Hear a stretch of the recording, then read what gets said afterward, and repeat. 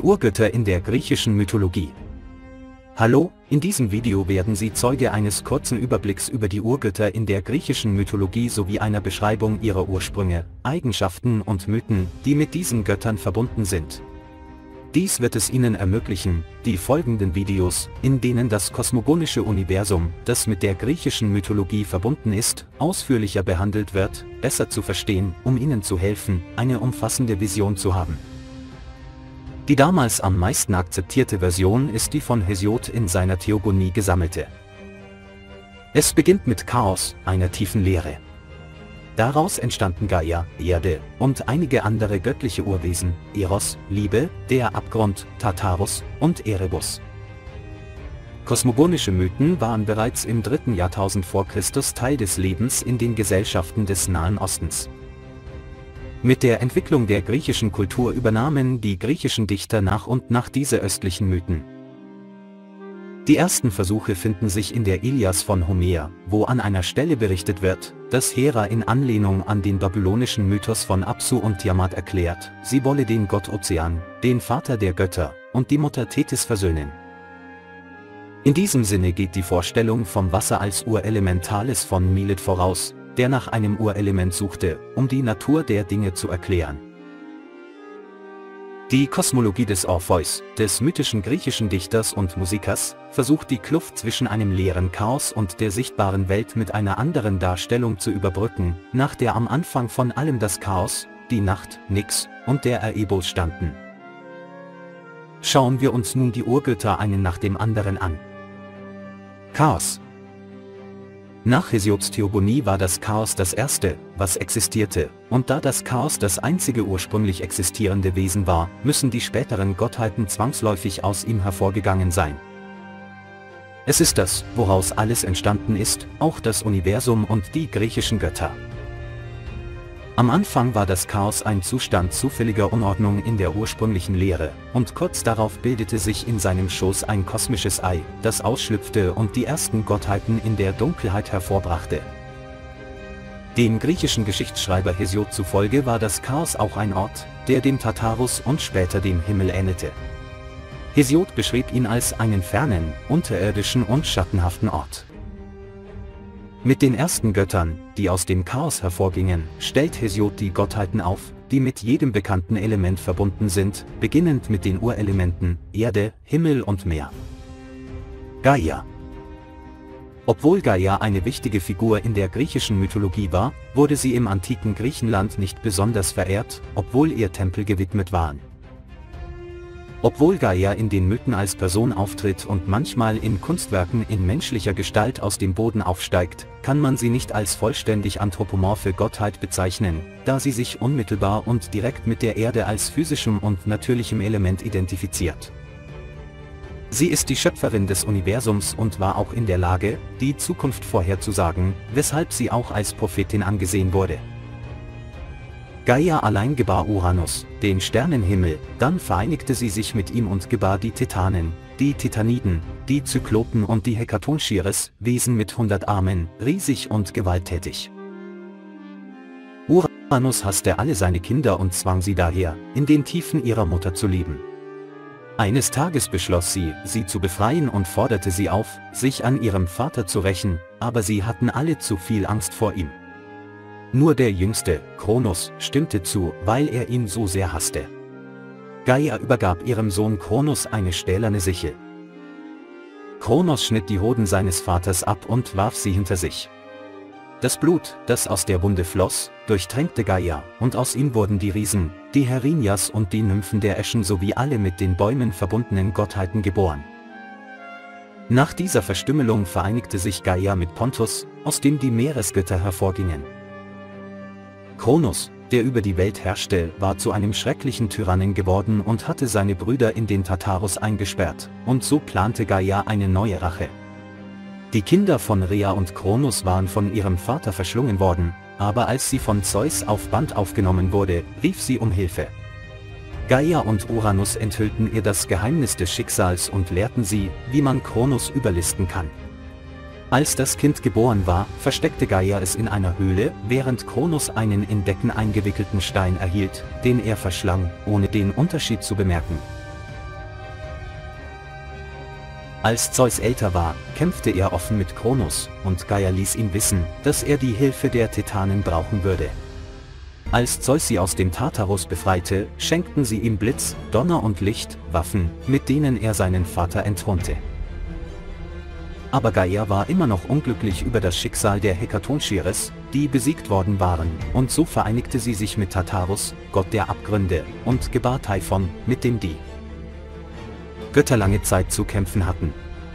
Aus dieser Verbindung entstand ein weiteres Ungeheuer, Echidna. Die meisten Theogonien schreiben Gaia die Mutterschaft verschiedener Ungeheuer wie Charybdis, den Harpien, Python, dem Drachen, der das goldene Vlies bewacht und sogar dem Ruhm zu. Tartarus Der Tartarus ist die tiefste Region der Welt, die sich unter dem Hades selbst befindet. Es war der Ort, an dem die aufeinander folgenden Generationen von Göttern ihre Feinde gefangen hielten. In der griechischen Mythologie gab es den sogenannten Tartarus, einen quälenden Ort ewigen Leidens, ähnlich der Hölle des Christentums. Der Tartarus war nicht nur ein Ort, sondern auch eine Gottheit, der Sohn von Äther und Gaia. Der Tartarus als Ort lag noch tiefer als der Hades, in den Eingeweiden der Unterwelt. Der Tartarus war ein Ort, der so weit entfernt war, dass seine Entfernung der des Himmels zur Erde entsprach. Sie war von drei Nachtschichten und einer Bronzewand umgeben, die eine dunkle, düstere und unheilvolle Grube bildeten. Dort wurden die Titanen gefangen gehalten. Der Hades war die Welt der Toten, in die alle eintraten, aber der Tartarus war die Heimat der Verdammten, die von Riesen mit Dutzenden von riesigen Köpfen und Hunderten von starken Armen, den Hekatoncheires, bewacht wurden. Wie im dantesken Inferno entsprach auch im Tartarus die Strafe dem im Leben begangenen Vergehen. Der Tartarus hatte sein Gegenstück, die Elysischen Felder, Aufenthaltsort der Tugendhaften und Helden, deren grüne Felder und blühende Wiesen eine glückselige Ewigkeit versprachen. Nach dem Tod wurden alle vom Gericht des Hades beurteilt, das aus Radamantis, Iacus und Minos bestand und das endgültige Schicksal aller Wesen bestimmte. Eros. Er verkörpert die Leidenschaft, die Liebe und die totale Sehnsucht, und seine Existenz ermöglicht es den Urwesen, neue Wesen ohne fleischliche Vereinigung zu schaffen.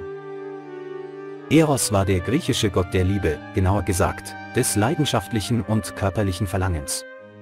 Ohne Vorwarnung wählt er seine Ziele aus und trifft sie mitten ins Herz, was zu Verwirrung und unbändigen Gefühlen führt.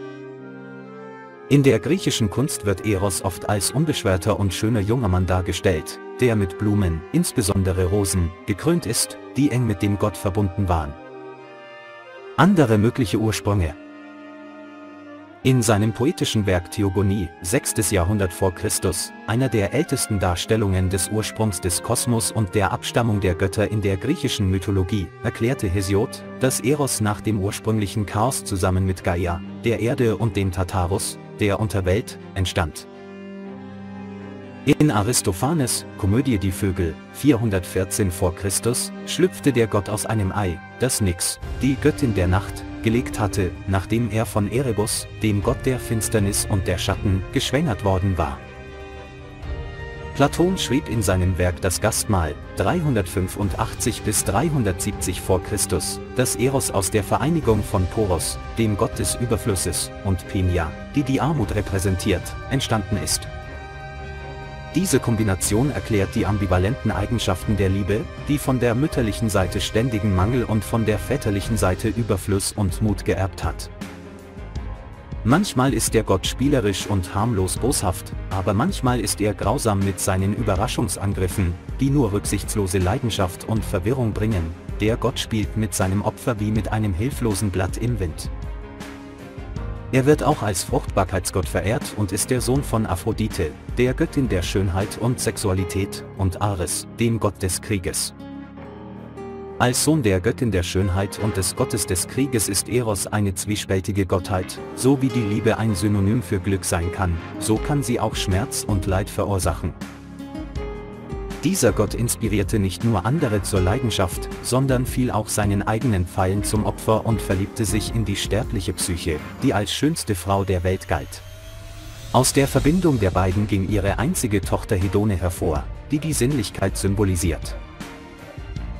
Der repräsentativste Mythos besagt, dass Eros der Sohn von Aphrodite, der Göttin der Schönheit und Sexualität, und Ares, dem Gott des Krieges, ist. In anderen Schriften heißt es jedoch, dass diese Göttin ihn empfing, nachdem sie vom Meeresschaum besessen war, und dass aus dieser Vereinigung Zwillinge hervorgingen, Eros, der Gott der Liebe, und Hymeneus, der Gott der Lust und des sexuellen Verlangens.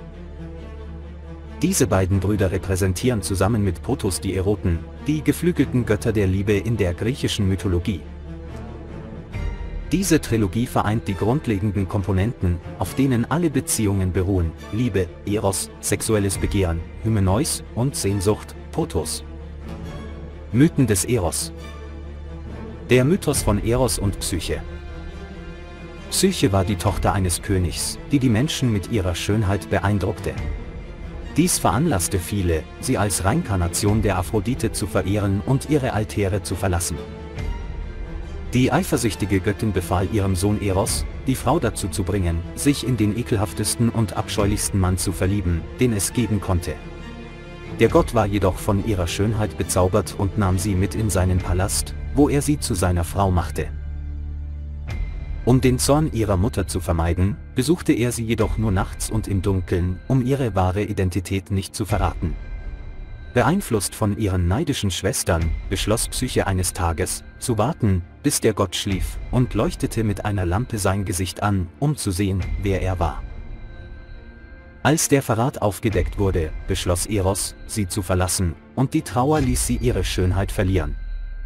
Die Frau, die sich schuldig fühlte, unternahm eine Reihe von gefährlichen Versuchen, um seine Vergebung zu erlangen. In der letzten dieser Geschichten stieg sie in die Unterwelt hinab, um Persephone um etwas von ihrer Schönheit zu bitten, damit sie die ihres Geliebten wiederherstellen konnte. Schließlich verzeiht Eros ihr und bittet seine Mutter und Zeus, Psyche unsterblich zu machen, damit sie in Ewigkeit zusammenbleibt. Aus der Verbindung der beiden ging ihre einzige Tochter Hedone hervor, die die Sinnlichkeit symbolisiert. Der Mythos von Daphne und Apollo. In einer anderen Geschichte wird erzählt, dass Apollo, der Gott der Sonne, der Vernunft und der Musik, sich über Eros, Fähigkeiten als Bogenschütze und Sänger lustig gemacht hat. Aus Rache schoss er ihn mit einem seiner Pfeile an, damit er sich in eine Nymphe namens Daphne verliebte. Im Gegenzug schoss er einen weiteren Pfeil mit einer Bleispitze auf die junge Frau, damit sie Verachtung und Geringschätzung für ihn empfand. Trotz ihrer Ablehnung suchte der Gott sie weiterhin auf, und um den Schikanen zu entgehen, bat Daphne ihren Vater, den Fluss Ladon, um Hilfe. Er verwandelte sie in einen Lorbeerbaum, der von da an Apollo heilig war. Der Mythos von Liebe und Leidenschaft Ein anderer Mythos erzählt, dass Aphrodite besorgt war, weil die Zeit verging und ihr Sohn nicht erwachsen wurde, sondern immer ein rebellisches und schelmisches Kind blieb. Also beschloss sie, das Orakel der Themis aufzusuchen, um eine Antwort zu erhalten. An diesem heiligen Ort wurde ihr gesagt, dass Liebe ohne Leidenschaft nicht wachsen kann. Die Göttin verstand die Botschaft erst, als sie einen weiteren Sohn bekam, Anteros, den Gott der Leidenschaft. Als er bei seinem Bruder war, wuchs Eros zu einem schönen jungen Mann heran. Aber als sie getrennt wurden, wurde er wieder zu einem verwöhnten Kind. Der Mythos von Helena von Troja Aphrodite versprach dem trojanischen Prinzen Paris die Liebe von Helena, nachdem dieser sie in einem Schönheitswettbewerb gegen Hera und Athene gewählt hatte. Helena, die für ihre Schönheit berühmt war, war mit Menelaos, dem König von Mykene, verheiratet. Doch dank eines Pfeils von Eros verliebte sie sich in Paris, und die Liebenden flohen gemeinsam und lösten den Trojanischen Krieg aus. Erebus, war ein Urgott, die Personifizierung von Dunkelheit und Schatten, der jeden Winkel der Welt erfüllte. Seine dichten Nebel der Dunkelheit sollen die Ränder der Welt umgeben und die schattigen unterirdischen Orte erfüllen. Das Chaos selbst hatte sowohl ihn als auch seine Schwester Nyx, die Nacht, und aus der Vereinigung der beiden Geschwister gingen ihre Gegenstücke hervor, Äther und Hemera. Nyx schleppte die dunklen Nebel von Erebo über den Himmel und brachte der Welt die Nacht, während Hemera sie verbreitete und den Tag brachte. Nyx blockierte das Licht des Äthers, die helle, leuchtende obere Luft, und Hemera lichtete die Dunkelheit, so dass der Äther wieder die Erde erleuchten konnte. Erebus war auch der Wohnsitz von Cerberus, dem dreiköpfigen Hund, dem Wächter des Hades, zusammen mit Thanatos, den Erinias und den unbegrabenen Toten. Nächstes Video. Die Titanen. Sie werden es lieben. Für weitere Videos über Geschichte, Mythologie, Philosophie oder Kunst besuchen Sie meinen Kanal in der Videobeschreibung.